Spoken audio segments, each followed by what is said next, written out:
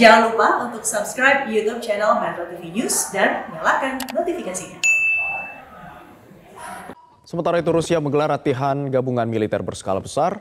Aksi ini menjadi upaya Rusia untuk menunjukkan kekuatan militer yang dimiliki saat ini walau sebagiannya diturunkan di wilayah Ukraina.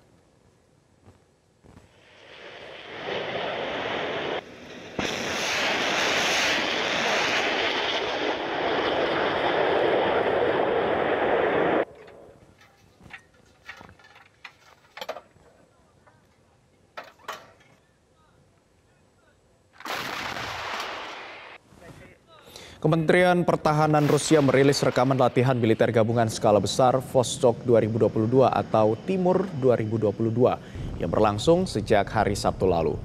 Kementerian Pertahanan Rusia mengatakan latihan Vostok 2022 akan berlangsung hingga tanggal 7 September di tujuh wilayah latihan tempur di timur jauh Rusia dan Laut Jepang. Latihan gabungan ini melibatkan lebih dari 50 ribu tentara dan lebih dari 5 ribu unit senjata, termasuk 140 pesawat dan 60 kapal perang.